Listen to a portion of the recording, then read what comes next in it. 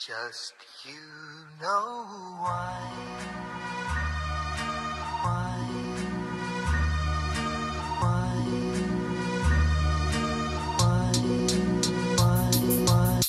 Good morning, YouTube. Happy Tuesday. Never mind, today's Wednesday. I, uh, I've already started my day like a couple hours ago. I went to work at like 8. I wanted to talk to you guys real quick about a trip I'm going on this weekend.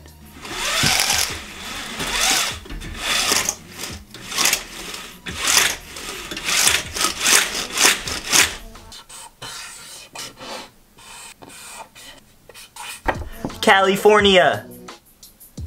So obviously California is an awesome place to go.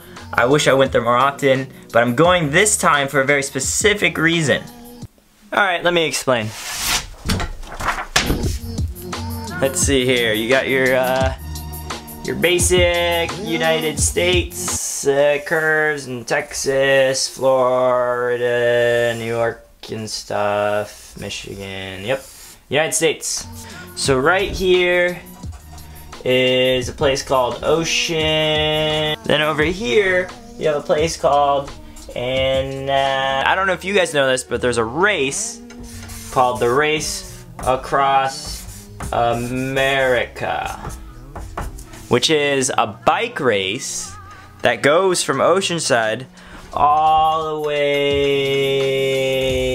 I'm not gonna be in the race per se. I'm gonna be a part of the crew for someone that is in the race as like the media film guy. So the trip though isn't this weekend, it's in three weekends from now. This weekend is like the practice run where we go do the first 500 miles and see how it goes. Most of you already know from the other vlogs, but if you don't know, I work at this data analytics computer, so I'm probably just gonna fast forward through the whole workday. Here we go.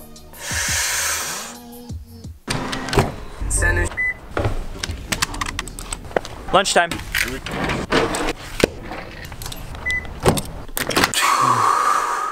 Work's over, and yes, I, uh, I did get a haircut. Thanks for noticing.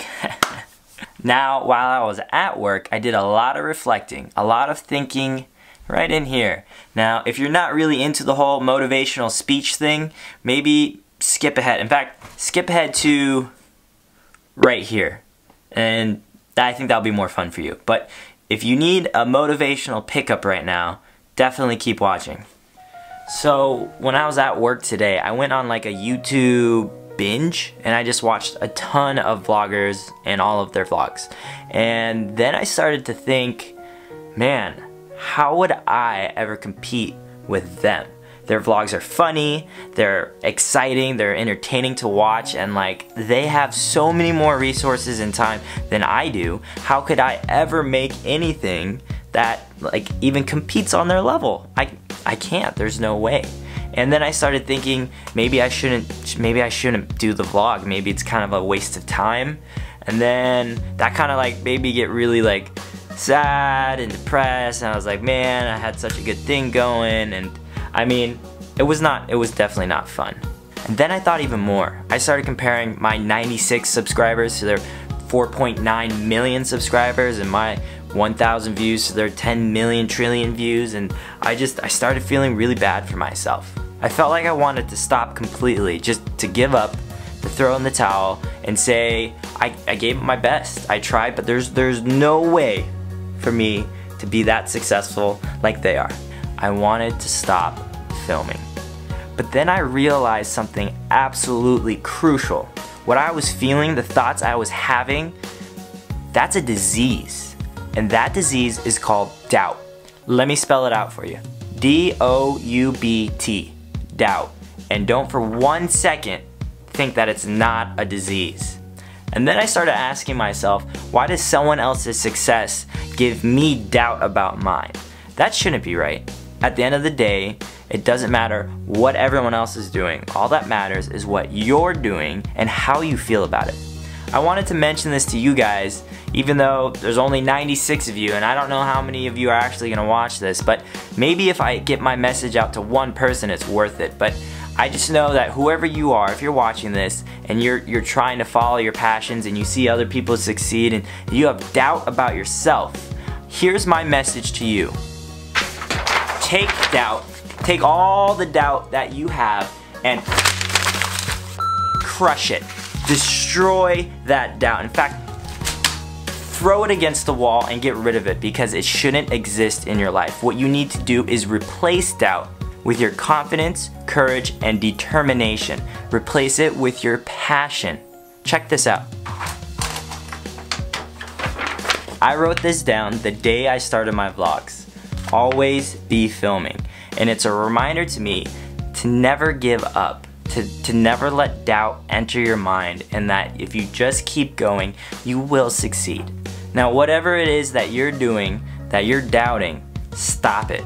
You got this. You know you got this, and don't let the other people in your life that are doing what you want to do and they're doing it better, they're doing it greater, don't let that make you feel any less about yourself. In fact, when you see these people and they're doing great, give them like a like a mental like what's up, like nice work, like a little salute or down. Is it up?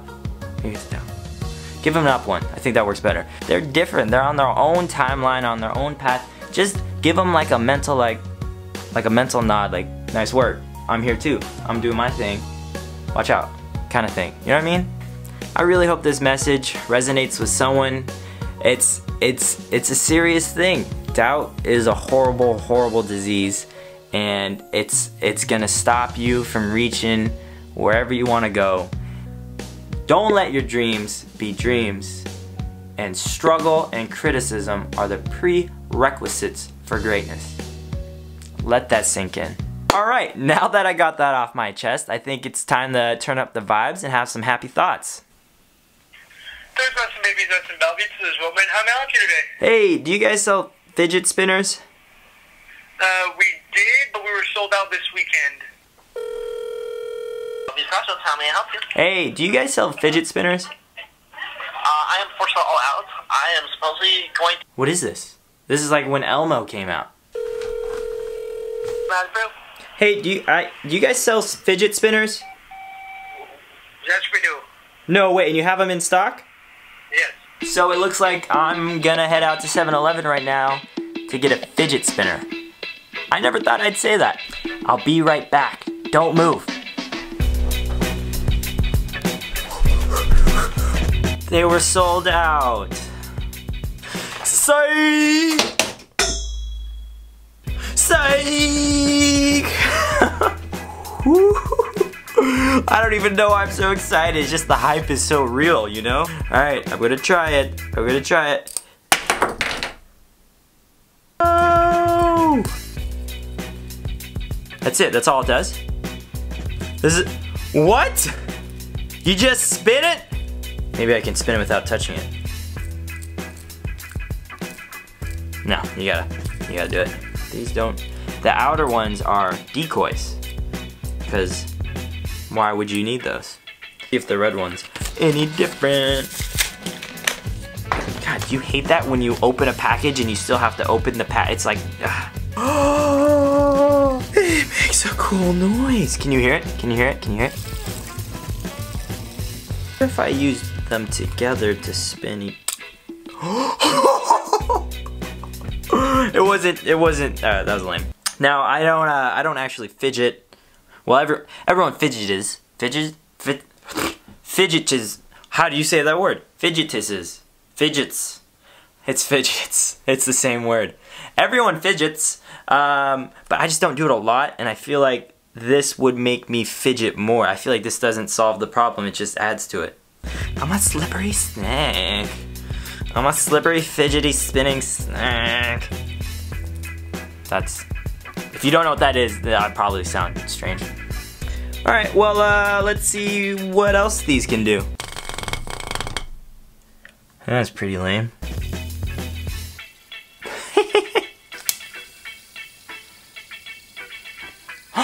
it puts out fires! What? Why is the fire department not looking into this? Pretty much, they just all make different fart noises. When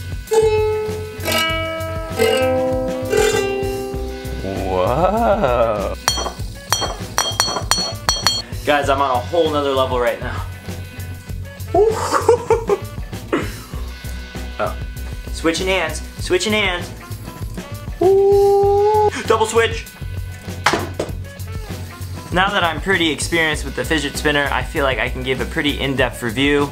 Um, its strong points, it definitely spins. Uh, low points, um, it doesn't really do anything else. I would definitely encourage you to go get one of these. I mean, just to say that you have one or that you can spin one because if you miss out on knowing what this is like, I would say...